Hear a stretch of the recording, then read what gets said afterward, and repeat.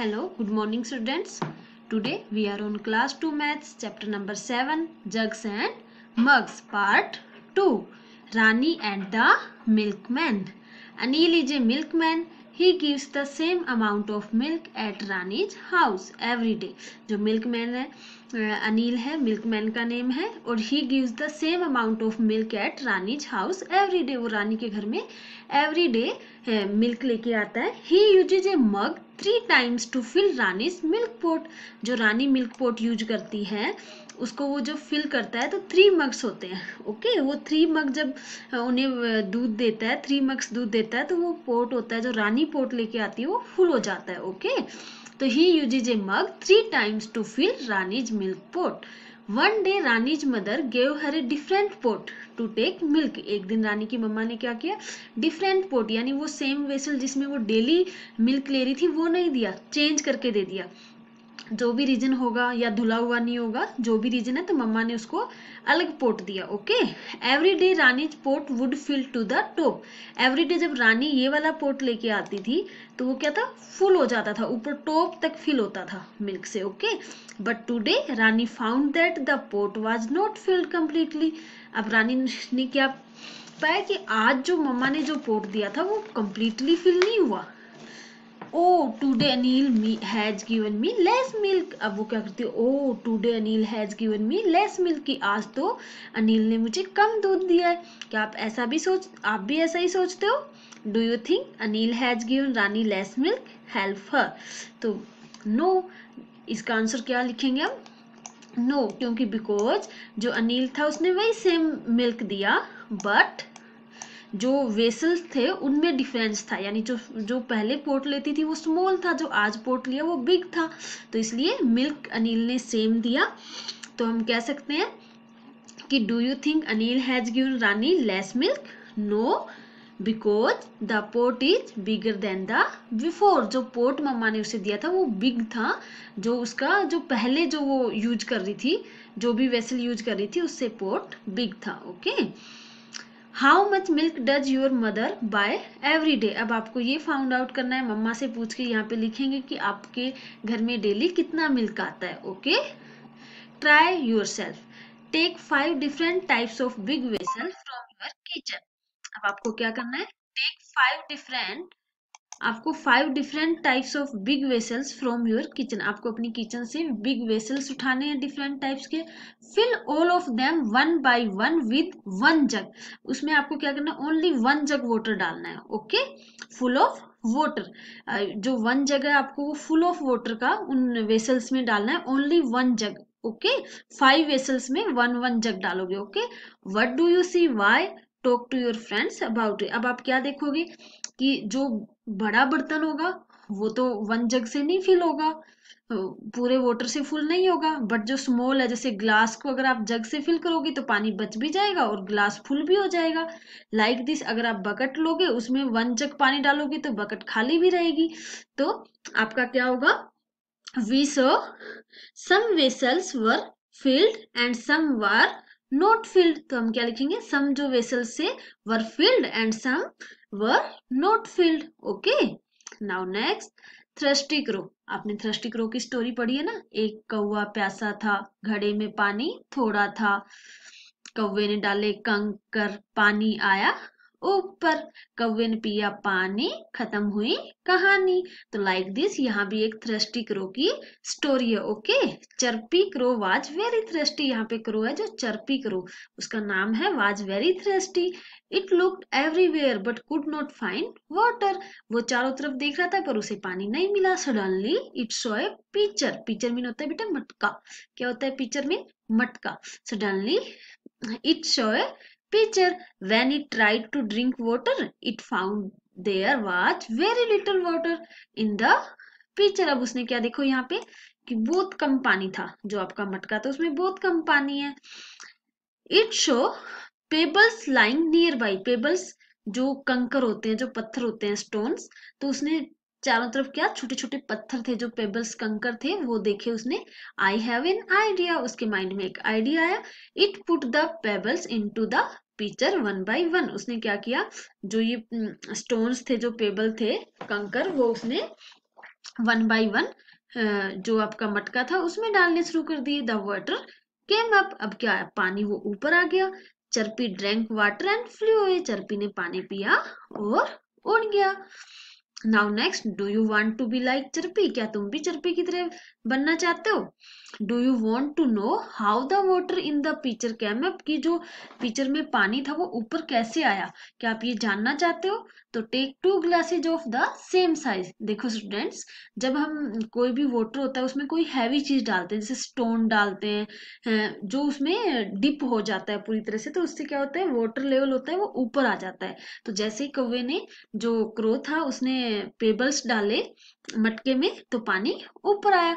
तो अभी आपको ये करके देखनी है activity take two glasses of the same size आपको टू ग्लासेज लेने हैं सेम साइज़ के।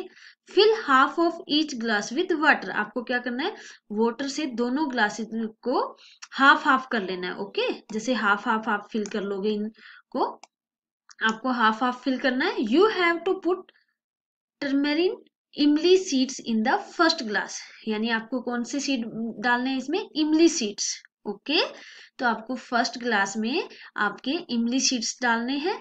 Raise the water to the top guess how many seeds you will need to put in अब आपको देखना है कि वाटर जब टॉप में यानी ग्लास फुल हो जाएगा, ऊपर पानी आएगा, तब तक आपको कितने बीज इमली के डालने पड़ेंगे? यानी how many seeds you need कि कितने इमली के सीड्स आपने पानी में डाले ताकि पानी ऊपर तक गिलास के ऊपर तक फिल आ गया, जैसे यहाँ तक पानी आ जाएगा।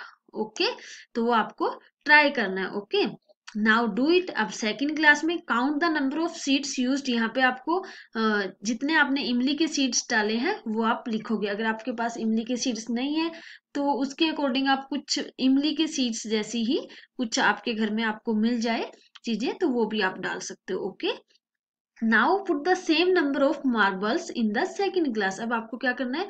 Same number of marbles marbles क्या होते हैं? कंचे, जिससे आप खेलते हो ना तो same number of marbles in the second glass अब आपको सेकेंड ग्लास में क्या करना है? जितने आपने इमली के सीड्स डाले हैं, उतने ही आपको सेम नंबर ऑफ़ मार्बल्स उसमें डालना है। वट हैपन अब देखोगे आप, जब आपने इमली के सीड डाले तो पानी धीरे धीरे ऊपर आया था बट जो मार्बल्स होते हैं, वो आपके थोड़े से हैवी होते हैं तो उनसे और जल्दी, अगर आप इमली के सीड्स होते हैं, वो हल्के भी होते हैं थोड़े। तो मार्बल्स हैवी होंगे, जैसे ही आप मार्बल डालोगे, पानी गिलास के ऊपर से आएगा। यानी जल्दी पानी किसमें आएगा ऊपर? मार्बल्स में okay? Repeat it with stone अब आपको स्टोन से रिपीट करना है। What happen now talk about in the it in the class अब आपको देखना है कि किसमें पानी सबसे ज़्यादा जल्दी ऊपर आता है। आप स्टोन भी डाल सकते हो मार्बल्स uh, भी डाल सकते हो और इमली सीड्स भी okay? Now water is useful Find out how much water in mugs or buckets is used in your house for each of the following. अब आपको ओनली मग्स और बकेट लिखने हैं यहाँ पे, क्योंकि water is very useful for us हम कोई भी दिन में एक्टिविटी करते हैं, खाना बनाना हैंड वॉश करना, सब में क्या करते हैं वाटर यूज़ करते हैं ना? तो हाउ मच आपको कितना पानी होता है, वो यूज़ होता है, वो आपको यहाँ पे दिखाना है। जैसे आप टेकिंग ए बाथ जब आप नहाते हो तो कितना पानी लेते हो?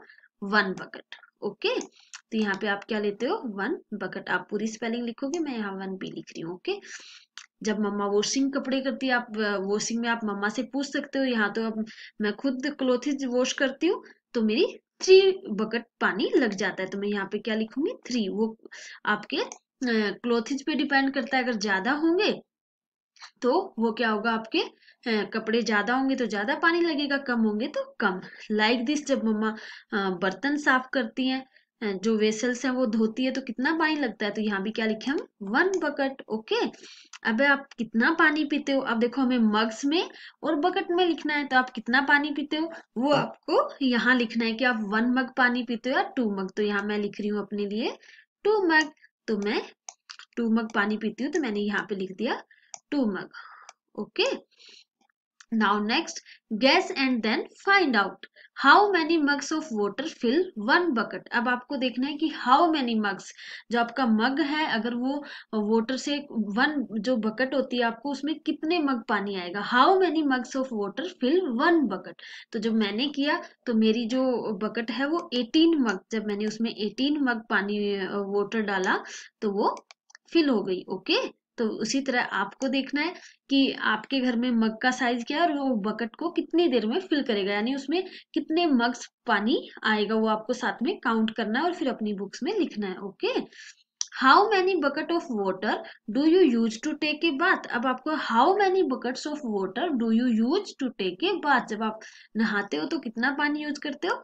तो one bucket how many mugs of water do you use to take a bath अब आपको हाउ मैनी मग्स बताने हैं। अब देखो, यहाँ पे हमने क्या बोला कि हम टेक ए बाथ नहाते टाइम वन बकेट यूज़ करते हैं और वन बकेट में कितने मग्स आए थे? 18 तो अब how many mugs of water do you use to take a bath तो यहाँ पे क्या लिखेंगे 18 मग ओके 18 मग्स तो यहाँ पे आपको ये करना है, यहाँ आप मेजर करोगे, खुद मेजर करोगे कि आपके कितने मग्स पानी हैं जो मग्स ऑफ़ वाटर हैं जो आपके बकेट को फिल करेंगे, ओके? और वही आप यहाँ पे लिखेंगे।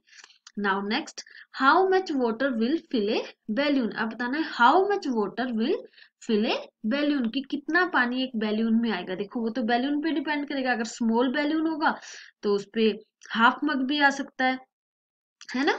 जो सेमोल बैलून होगा तो उसमें हाफ़ मग भी आ सकता है बिग होगा तो वन मग आ जाएगा, अगर उससे भी बड़ा होगा तो टू मग्स आ जाएगा, ओके? उसके अकॉर्डिंग हमें ये बैलून के अकॉर्डिंग होगा, okay?